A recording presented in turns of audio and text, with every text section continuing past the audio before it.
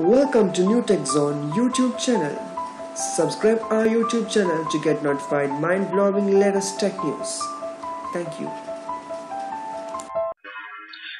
Hi guys, in this video guide let's see how to turn on or off group notifications on your Facebook. So if you are a member in several Facebook groups and if you don't want to get notification from specific group or some kind of group simply you can control this through your settings. To do this go to your facebook profile and click on settings and click on notifications. And on facebook there is option on facebook. Click on edit here. And you can find here group activity. Click on edit. So once you edit it will show all the groups that you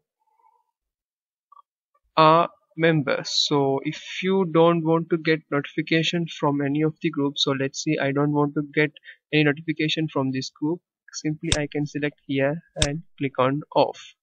Also I can do several do several options here. So if I want to get notifications of this group all posts simply if I select all posts then it will notify all the post notifications of that group so if I don't want this simply I can click off or if I want to get notified only from my friends post simply I can select friend post so you can control your group activity through here thank you